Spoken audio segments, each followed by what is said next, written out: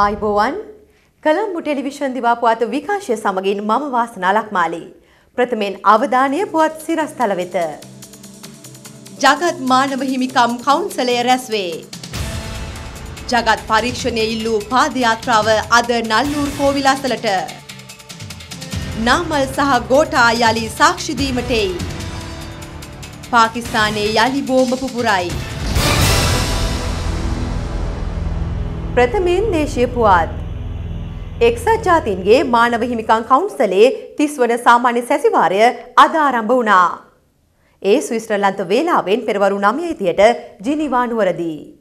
රටවල් හතලිස් හතක නියෝජිතීන් සහභාගී වෙන මෙම සැසිවාරය ලබන මස දෙවනිදා දක්වා පැවැත්වෙනවා.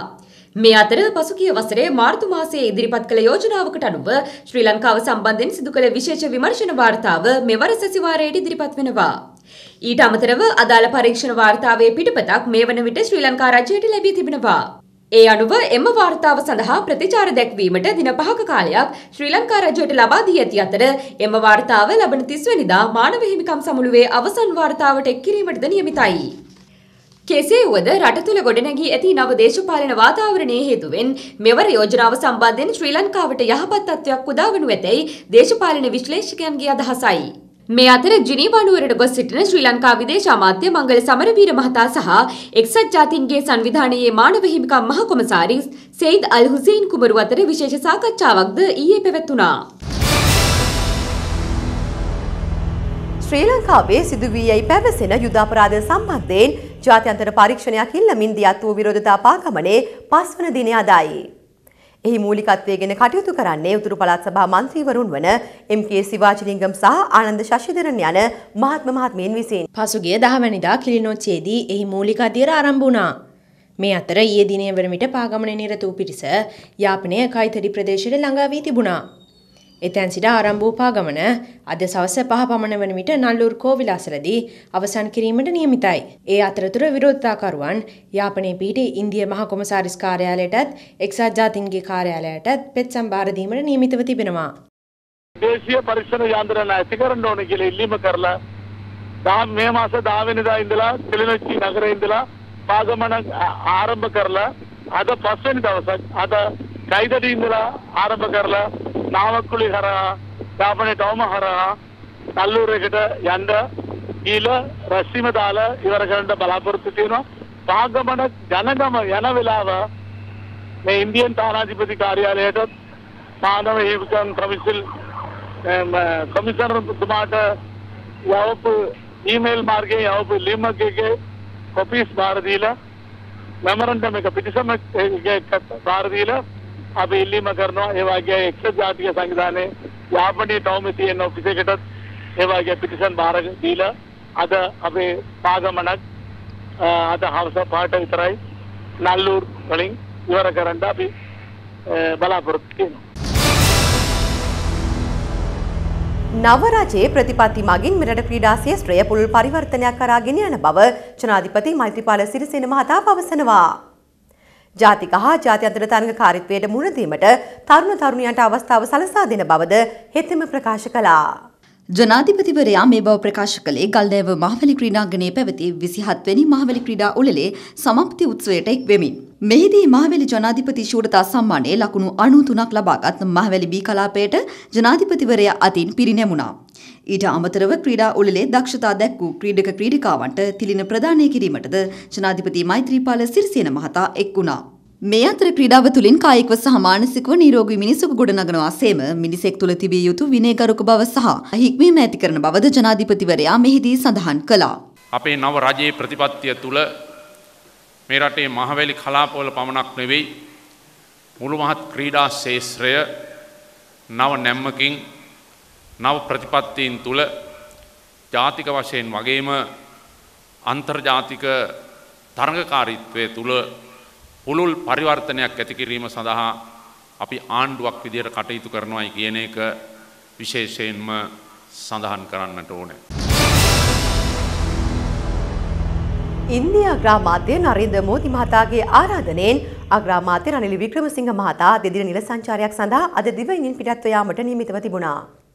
මෙම සංචාරයේදී ඉන්දිය අග්‍රාමාත්‍යවරයා ඉන්දිය ජනාධිපති ප්‍රණාබ් මුඛර්ජී මහතා සහ විදේශ ඇමතිනි සුෂ්මා ස්වරාජ් මහත්මිය ඇතුළු ජ්‍යෙෂ්ඨ නායකින් සමග සාකච්ඡා පැවැත්වීමට රනිල් වික්‍රමසිංහ මහතා අපේක්ෂා කරන බව අග්‍රාමාත්‍ය කාර්යාලය සඳහන් කළා.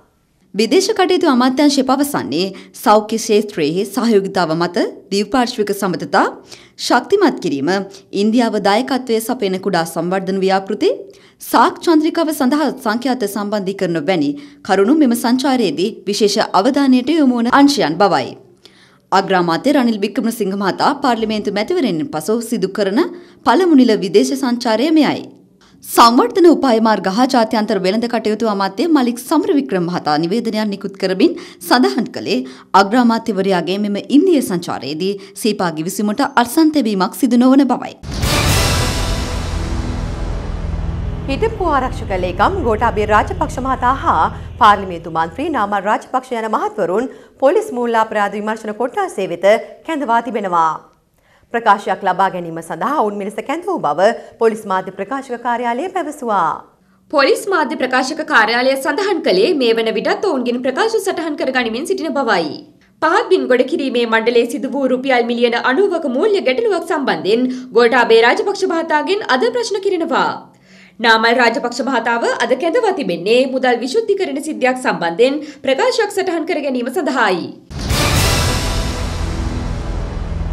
බරපතල වංචා හා දූෂණ සෙවීමේ ජනාධිපති පරීක්ෂණ කොමිසන් සභාවට අද රක්නා ලංකාවත්මන් සභාපති වික්ටර් සමරවීර මහතා පැමිණියා.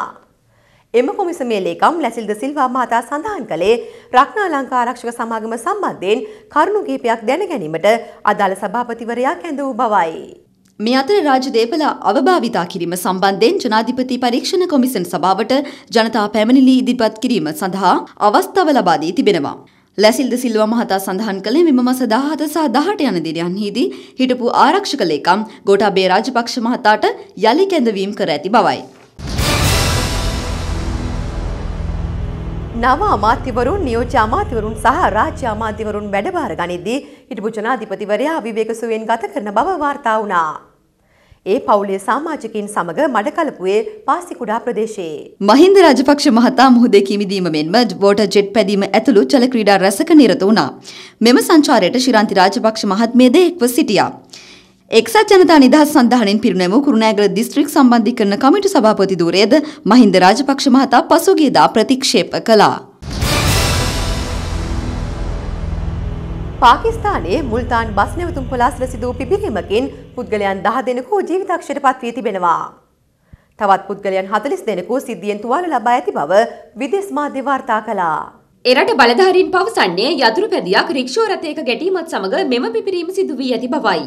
මේ අතර එම රථ දෙකින් එක් රථයක බෝම්බයක් සවිකර තිබෙන්නට ඇතැයි එරට පොලිසිය විශ්වාස පළ කරනවා. කෙසේ නමුත් අධිකරණ වෛද්‍ය කණ්ඩායම් තවදුරටත් පරීක්ෂණ පවත්වනවා. මේ අතර කිසිදු සංවිධානයක් විසින් ප්‍රහාරයේ වගකීම මෙතෙක් බාරගෙන නැහැ. ජපානයේ කයිෂුගිනි කන්ද සක්‍රිය වී තිබෙනවා. මේ වන විට එහි අලු සහ දුම අවකාශයට මුදා හැරමින් තිබෙන බව එරට මාධ්‍ය වාර්තා කළා.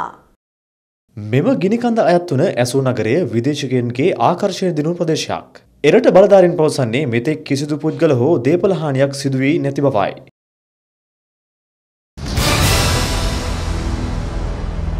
සංචාරක ඕස්ට්‍රේලියානු පිළ එංගලන්ත පිළ සමග පැවති එක්දින ක්‍රිකට් තරගාවලියේ ජය වාර්තා කළා. මේ අනුව අවසන් එක් දින තරගයේ ජයගෙන තරගාවලියේද ජය වාර්තා කරමින් ක්‍රිකට් වාර්තා අතරට එක්වීමේ බලාපොරොත්තුව එංගලන්ත කණ්ඩායම වෙතින් ගිලිහී ගියා. මෙම තරගේ ජයග්‍රහණය සඳහා හිමි වූ ලකුණු එකසිතිස් අටක ඉලක්කේ වෙත පහසුවෙන් ළඟා වූ ඕස්ට්‍රේලියානු ක්‍රිකට් පිළට ඒ සඳහා අවශ්‍ය වූයේ පන්දුවාර විසි හතරයි පන්දු දෙකක් පමණයි. ඒ වන විට ඔවුන්ගේ පිතිකරුවන් දෙදෙනෙකු නැවත ක්‍රීඩාගාරය වෙත ගොස් සිටියා.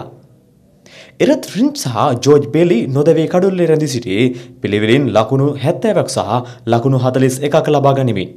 මේ අනුව තර්ග පහකින් සමන්විත මෙම තරගාවලියේ තුනට දෙකක් ලෙස ඕස්ට්‍රේලියාවට ජයහිමි වුණා.